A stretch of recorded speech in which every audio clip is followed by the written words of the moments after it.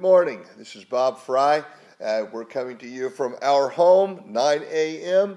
Uh, Sunday morning, uh, May the 16th, and we're thankful for the opportunity to come into your home from ours. Uh, God is doing some great things, and He's giving us uh, such a good opportunity in the social uh, medium platforms, and we have great help with uh, Matt Wooten and, and Jared Kamala, and, and uh, God is really blessing and has really got the word out here in the last year uh, since we decided to go full time.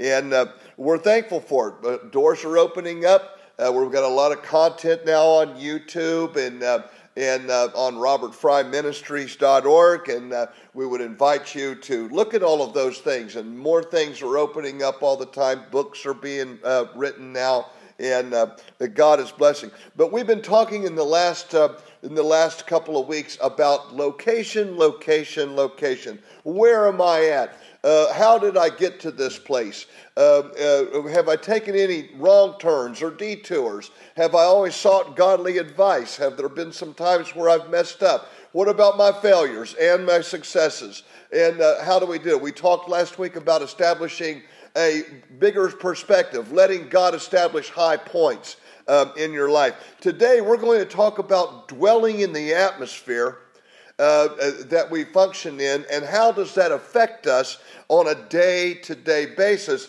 And there's some incredible things, but, but before we go into that, let's just see if we can get a perspective on what's going on in heaven. You know, John was on the Isle of Patmos, uh, the book of Revelation, and uh, the Holy Spirit began to speak to him of concerning the things of the last days. And uh, uh, and these are the days now that we are living in. And uh, so he gave us not only a, a perspective of what had transpired, what was going on presently in his world among the seven churches in his region, but also what was coming after those things. And uh, but he gave us a picture of what's going on in heaven right now. Four and twenty elders representing the uh, uh, Old Testament and New Testament body of believers, casting their crowns, saying, "Worthy is the Lamb." Multitudes and multitudes in a company of angels uh, praising God. Uh, uh, the, the, the, the room, the throne was filled with glory. There was incredible, incredible singing. Uh, John saw all of that. And in, in, in, in uh, Revelation 8, let's go to there and let's look at something that's just piqued my interest when, um, when I, the Lord showed me this. And it said, when he opened the seventh seal, there was a silence in heaven for about a half an hour. And I saw the seven angels who stand before God, and to them were given seven trumpets. Now we're talking about something that's going to be happening happening within the great tribulation. But but what is happening there still is a reflection of what is always going on concerning prayer. And it says that another angel, and here we go, having a golden censer, came and stood at the altar, and he was given much incense, that he should offer it with the prayers of all the saints upon the golden altar which was before the throne. Imagine this is going on in the throne room of heaven right now. And um, it says, And the smoke of the incense with the prayers of the saints ascended before God from the angel's hand. John gives us a description of a spiritual transaction taking place before the throne of God. It reveals the how and the why that worship among believers um, on the earth is so relevant. Uh, he saw the trumpeters. He saw an angel with a censer in his hand, offering incense of fire um, that, that was symbolic of the prayers of the saints that filled the throne of God with a fragrant smoke. And um, prayer causes great delight in the presence of God.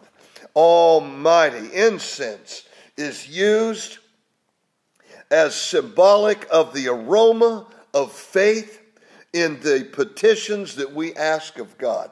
It says over in, in Psalm 141, there's an incredible uh, scripture over there.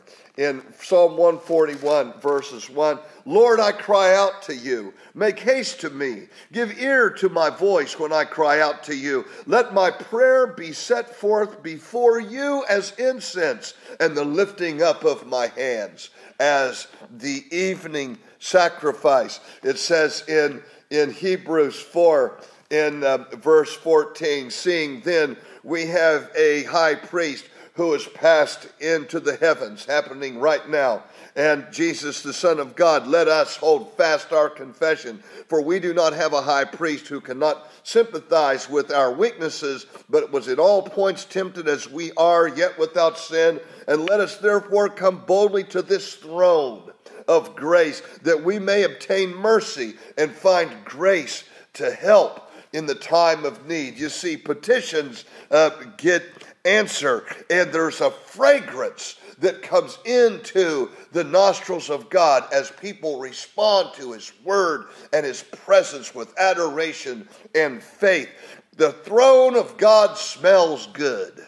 It smells good, and the aroma of His presence smells good. Every aspect of mercy and of grace. Every answer to prayer manifests the aroma of the attention and the kindness that He shows toward us in Christ Jesus. God is on the throne, and it's sweet to Him to see that we respond to Him in faith. Without faith, it is impossible to please God. And he that comes to God must first believe that he is God and that he is a rewarder of them that uh, uh, call upon him, diligently seek him. But there is another picture going on that involves aroma. And in verse chapter 9 of Revelation, just the next chapter, John saw the other side. In verse 1, the fifth angel sounded, and I saw a star fall from heaven to the earth. Now, this wasn't happening in the uh, in uh, the Great Tribulation. This this this being fell eons ago, before uh, Adam was even created. Uh, this thing fell uh, out of heaven. Uh, with a third of the angels that he had led in rebellion. It says, To him was given the key to the bottomless pit. And he opened the bottomless pit, and smoke arose out of the pit like the smoke of a great furnace. So the sun and the air were darkened because of the smoke of that pit. There is a fragrance and smoke that comes out and arises out of the depths of hell and only brings a stench of destruction, deception, and darkness. It's what heaven smells like all the time. The throne room of God smells good, and everything out of hell smells bad. I want to tell you a little story. Back in 1984, we were pastoring a church in Dresden, Ohio we had enough money to take a mini vacation. We left right after church and drove on the way down to Myrtle Beach. We had our little Malibu Chevy. We had uh, Aaron as a seven year old uh, in the in the back, along with his little brother uh, Mike, a three-year-old. We had the uh, turtle shell on the top of the car with all of our beach gear and stuff. But we'd never been to a beach before. We'd never been to Myrtle Beach before. But somebody had given us directions, and this was way before um, uh, uh, GPS and everything. So we had everybody's uh, in in, in input as to what was the best shortcut and how long it was going to take. And we were leaving at three in the afternoon, and we were going to drive all night because we didn't have any money to stay an extra night. And then we were going to get in there and find a hotel. It was going to be a three-day whirlwind type thing, and but we were excited. And uh, so we're going down the highway on Route 77, leaving Columbus and on down toward that. And we land into Charleston, West Virginia. And I'm from West Virginia, and I love that state. And uh, the, right in the middle of that city, there's a big river called the Kanawha River, and it parallels I 77.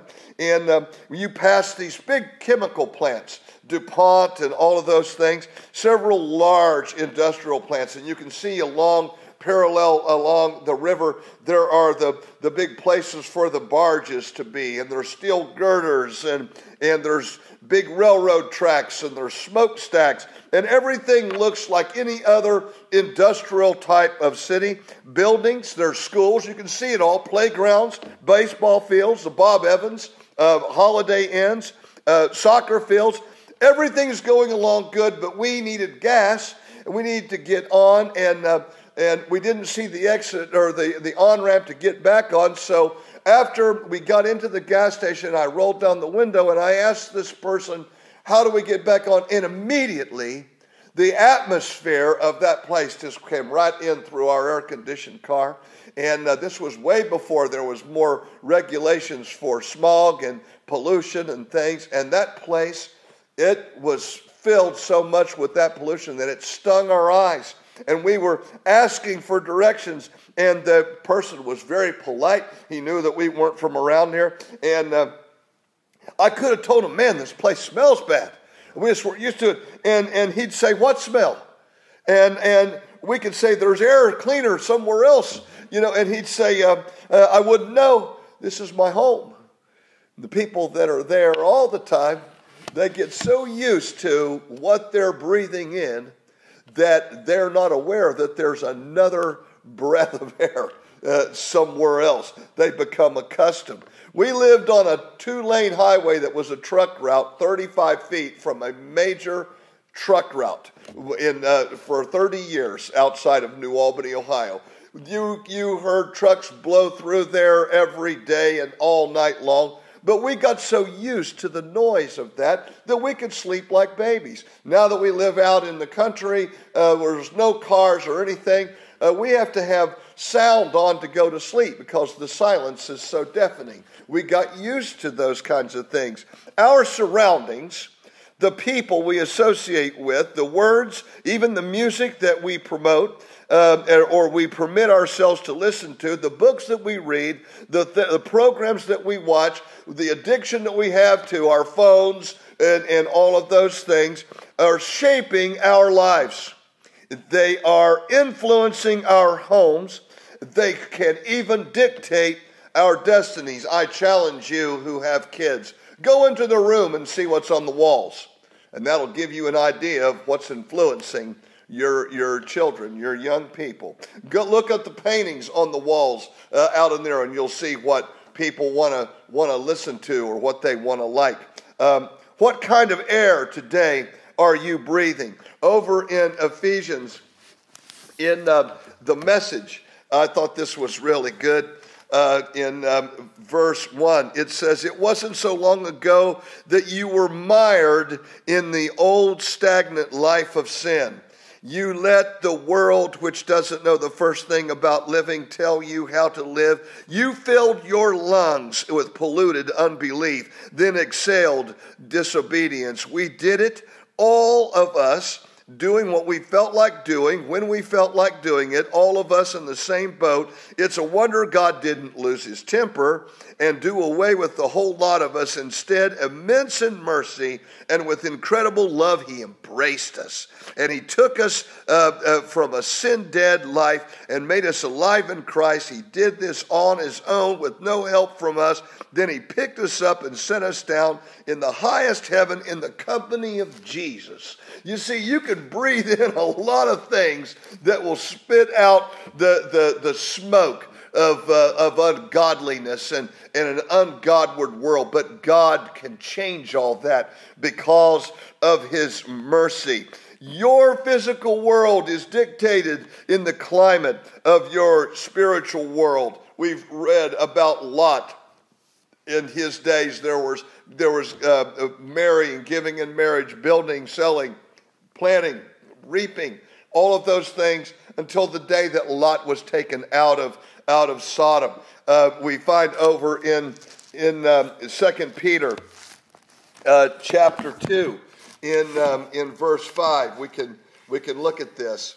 It, it says, says over there that um, uh, uh, in verse 6 that God turned the cities of Sodom and Gomorrah into ashes, condemned them with an destruction, making a, uh, them an example to those which afterwards should live ungodly, and delivered righteous Lot, who was oppressed by the filthy conduct of the wicked. For that righteous man dwelling among them tormented his righteous soul from day to day, in seeing and hearing their deeds, but God knows how to deliver the godly, the, un, the godly out of the temptations and reserve the unjust to uh, uh, punishment for the day of destruction. You see, you see, a lot just didn't get the picture until it was almost too late, and and but he didn't consider the the the stench of the spiritual activity going on in Sodom. You know, when it rained down fire and brimstone, actually, that there were tar pits around that place, and they when when God caused those tar pits to actually erupt that stuff blew up into the air and then covered the whole place with that sulfur and gaseous smoke came right out of hell and, and defeated um, uh, those cities and on some of the cities around them. Jesus said that there is a spiritual climate uh, over in, in Luke 21 in verse 35 that there will be signs in the sun and the moon and the stars uh, uh, in, in verse 25.